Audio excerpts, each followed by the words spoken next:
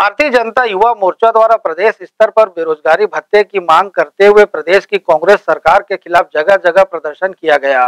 इस दौरान भारतीय जनता युवा मोर्चा कार्यकर्ताओं द्वारा भूपेश सरकार के विरोध में नारे लगाए गए। छेरछेरा पर्व के अवसर पर प्रदेश भर में व्यापक स्तर पर बेरोजगारी भत्ते की मांग करते हुए भारतीय जनता युवा मोर्चा के द्वारा जगह जगह प्रदर्शन किया गया। इसका असर भिलाई और रिसाली में भी देखने को मिला। दरअसल, भारतीय जनता युवा मोर्चा का आरोप है कि कांग्रेस सरकार सत्ता में आने से पूर्व छत्तीसगढ़ के बेरोजगार युवाओं को 2500 प्रति माह बेरोजगारी भत्ता देने की घोषणा अपने घोषणा पत्र में की थी।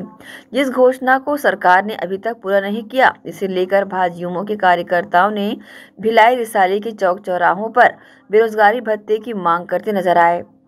ग्रैंड एशियन न्यूज़ के लिए रॉबिन मल ठाकुर की रिपोर्ट।